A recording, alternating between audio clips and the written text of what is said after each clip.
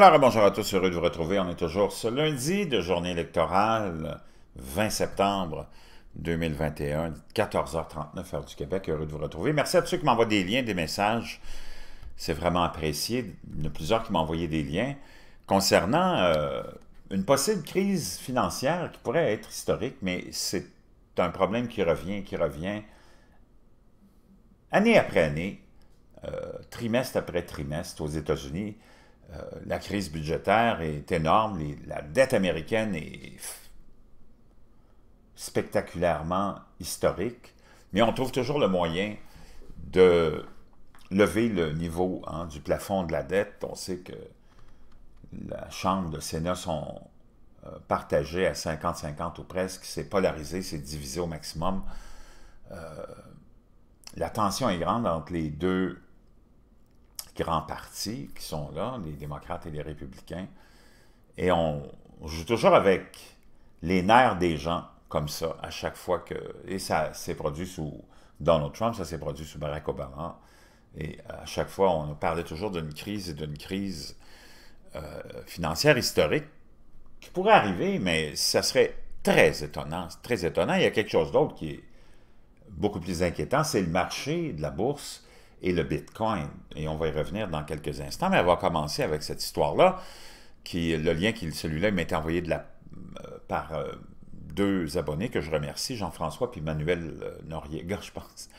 Un défaut de paiement provoquerait une crise financière historique, nous dit Janet Yellen, la secrétaire américaine au Trésor, a vigoureusement plaidé dimanche dans un éditorial publié par le Wall Street Journal que les États-Unis n'ont jamais fait défaut de paiement cela précipiterait probablement euh, le pays et le monde dans une crise financière historique. Le défaut pourrait déclencher une flambée des taux d'intérêt, une chute brutale des cours des actions et d'autres troubles financiers, a écrit la ministre des Finances de Joe Biden. Le plafond de la dette, que seul le Congrès a la prérogative de relever, est entré en vigueur le 1er août.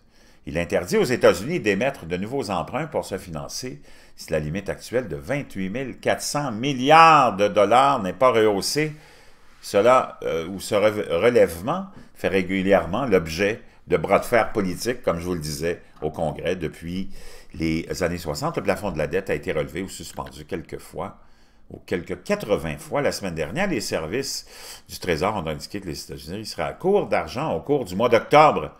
Mme Yellen décrit dans son éditorial une, cascade de catastrophes financières si la capacité d'emprunt des États-Unis afin de pouvoir honorer ses échéances n'était pas relevé, en quelques jours, des millions d'Américains seraient à court d'argent. Près de 50 millions de personnes âgées ne recevraient pas plus leur chèque de retraite et les soldats ne seraient plus payés. Nous sortirions de cette crise comme une nation durablement affaiblie, encore affirmé la secrétaire d'État. Mais il y a un bras de fer incroyable qui se joue. On ne sait jamais ce qui peut arriver. On est dans une période où on a pensé que rien pouvait nous arriver et tout est arrivé. Donc, euh, soyez pas surpris s'il y avait cette catastrophe-là. Market Watch nous raconte la même chose. Yellen exhorte le, Congrès à agir rapidement sur le plafond de la dette ou à risquer une catastrophe économique.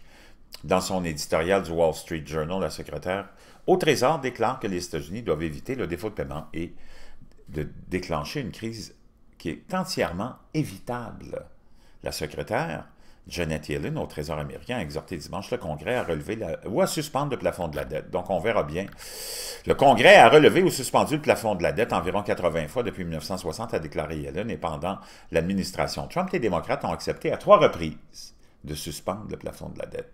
La dette accumulée du pays est d'environ 28 400 milliards de dollars. Pendant ce temps-là, le Bitcoin chute de 10 à moins de 43 000 dollars, alors que les actifs risqués chutent dans le monde. Les préoccupations réglementaires s'intensifient. Le Bitcoin, on le sait, est à l'abri de toute réglementation, mais ça s'en vient. Je vous en avais déjà parlé dans le, temps, il y a quelques mois. C'est un bel abri fiscal, tu peux aller cacher de l'argent, c'est anonyme, il n'y a personne qui sait euh, qui que ce soit sur qui que ce soit. Et il y a un énorme actif là-dedans chez Bitcoin maintenant, mais les gouvernements, je vous l'avais dit, de plus en plus, eh oui, cherchent à aller contrôler et savoir ce qui se passe du côté du Bitcoin. Le Bitcoin qui est adossé à aucune, aucune euh, valeur. Hein? Euh, le dollar était adossé à l'époque le dollar américain à on l'a euh, sorti de là, mais le dollar demeure la monnaie d'échange mondiale, donc c'est toujours solide, même si on veut s'en sortir, c'est pas facile. Mais le Bitcoin repose sur absolument rien et soutenu par absolument rien, sauf la confiance de ceux qui investissent dedans. Le prix du Bitcoin a fortement chuté aujourd'hui, lundi, alors que les investisseurs ont commencé à réduire le risque dans un contexte de baisse des marchés boursiers mondiaux. Alors que le Bitcoin est souvent qualifié d'actif refuge, la réalité croissante est que son prix a tendance à baisser dans un contexte de baisse plus large des actifs à risque. Tout comme les actions, le prix du Bitcoin connaît, pardon, connaît généralement une baisse en septembre. Bitcoin a perdu 10% euh, aujourd'hui, lundi, et s'est échangé pour la dernière fois à 42 634 selon CoinMetrics, le marché plus large de la cryptographie, est également dans le rouge, l'Ether ayant perdu 12% pour atteindre 2985 et 95. Les marchés boursiers mondiaux sont en baisse alors que les investisseurs craignent de propager le risque d'un bouleversement du marché immobilier chinois lié au très endetté Evergrande. Les investisseurs se concentrent également sur la Réserve fédérale et si elle signalera sa volonté de commencer à supprimer les mesures de relance monétaire de l'économie. La Banque centrale entamera mardi sa réunion de deux jours. Le déclin de la crypto survient alors que l'incertitude concernant la réglementation des pièces stables s'intensifie. Ça, c'est un article de CNBC. Le Financial Stability Oversight Council pourrait les désigner comme à risque systémique, a rapporté le New York Times ce week-end, ce qui pourrait les soumettre, eux et leurs opérateurs, à une réglementation stricte. Le groupe de travail du président sur les marchés financiers élabore un rapport sur les pièces stables et la Fed devrait publier ce mois-ci un rapport sur les monnaies numériques des banques centrales qui pourraient aborder les risques liés aux pièces stables. Alors que le euh, Bitcoin glissait, son ancien rival, l'or, était dans le vert avec des contrats à terme en hausse de 4 dixièmes Donc, vraiment intéressant. Qui va craquer? Le marché boursier, probablement avant euh, le système financier.